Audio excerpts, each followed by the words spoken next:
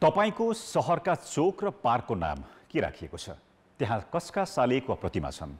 बुटवलका चोक र पार्कहरू भने दल अनुसार बाँडिएका छन्। तिनमा भएका पुराना शालिगलाई दलका नेता तथा अगुवाका शालिगले प्रतिस्थापन गरेका छन्। गणतन्त्र स्थापना अघि बुटबलको अस्पताल लाइनमा राजा महेन्द्रको शालिग थियो। उनकै नामबाट उक्त क्षेत्रलाई महेन्द्र पार्क भनिन्थ्यो। गणतन्त्र स्थापना पछि भने तत्कालीन नेकपा माओवादीले राजा महेन्द्रको शालिग हटाएर कम्युनिष्ट पार्टीको चिन्ह हसिया हतौडा राख्यो। त्यसको नाम अहिले शहीद पार्क राखिएको छ। अस्पताल लाइन छेउमै कम्युनिष्ट नेता पुष्पलाल श्रेष्ठको शालिग राखेर पुष्पलाल पार्क बनाइएको छ। ट्राफिक चोक अगाडि काङ्ग्रेस नेता बिपी कोइरालाको शालिग बनाएर बिपी चोक नाम राखिएको छ। गोल पार्कमा राजा पृथ्वीनारायणको शालिग फालेर कम्युनिष्ट नेता मनमोहन अधिकारीको शालिग राखिएको छ। जो जो सत्तासीन भए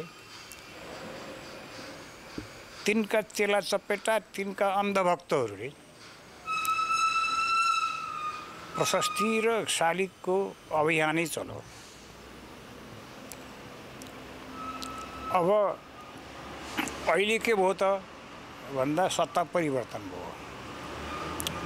राजतन्त्र पनि ढले ढलेर अहिले सङ्घीय लोकतान्त्रिक गणतन्त्र आयो।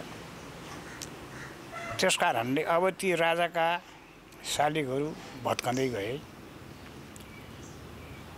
अब जनताका शालिगहरू थापित हुन थाले।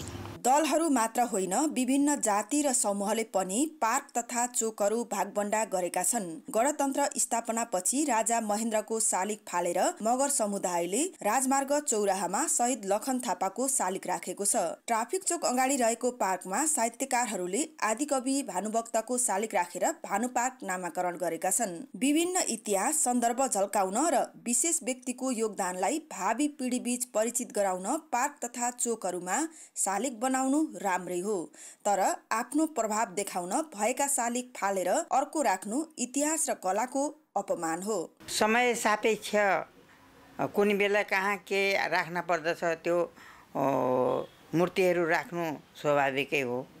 तर राखिसकेको मूर्तिलाई फेरि त्यसलाई विस्थापित गरेर हटाउने कुरो मेरो विचारमा राम्रो लाग्दैन। किनभने